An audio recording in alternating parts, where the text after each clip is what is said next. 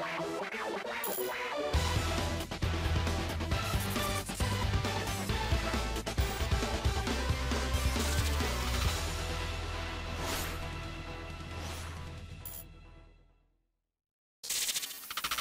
everyone, how are you doing? This is MD Tech here with another quick tutorial. Today I'm going to show you guys how to disable the low disk space message you might be getting on Windows. So this notification or warning pop-up will typically read that you're running very low on disk space. To free up space on this drive, they'd recommend deleting old or unnecessary files. So while this is typically done for the benefit of the user, this can definitely get annoying, especially if you have different drives or disks that maybe you store files on and it's not necessarily applicable for you or you just really don't care and you just don't want to see the pop-up. This tutorial will show you how to disable that message. Please keep in mind it will not fix an underlying issue you have. All this is going to do is disable that pop-up from appearing.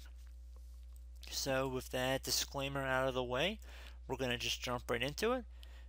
So we're going to start by left clicking on the start button and this should open up the start menu. You want to type regedit, R-E-G-E-D-I-T.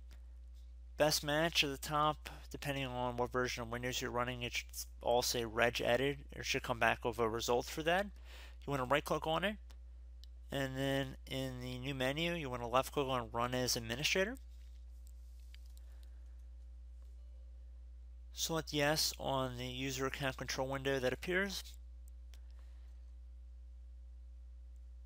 So now that we are in the registry editor, what we're going to do is navigate to HKey current user on the left side. So I'm actually going to expand this view a little bit so we can see better when we get further down.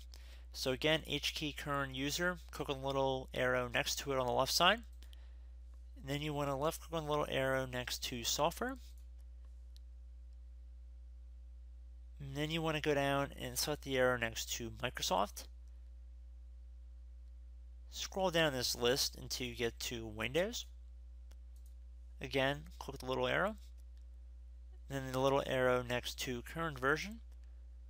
Scroll down again until you get to policies. I actually want to left click on that folder. And then finally left click on the Explorer folder here.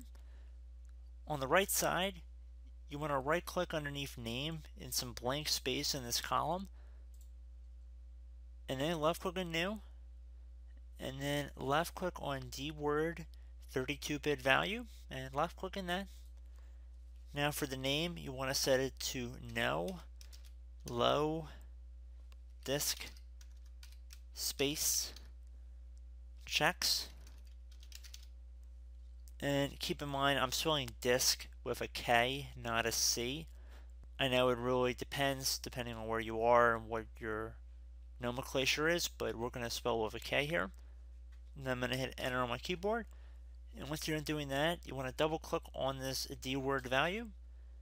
And for value data, you want to change the value data to a 1 and then once you're done typing 1 hit OK. Click on OK. And then at this point you can close out of the registry editor.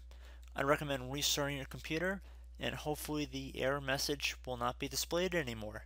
So I hope this brief tutorial helped you guys out and I will catch you in the next video. Goodbye